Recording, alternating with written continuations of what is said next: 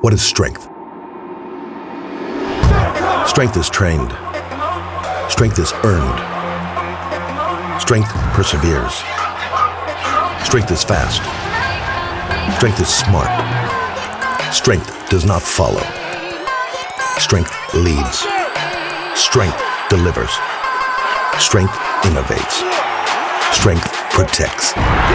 Strength endures the ups and downs of the game, the highs and the lows, the pre-game speech and the halftime adjustments, the conflict and the conquest, the coin toss and the last second tick of the clock.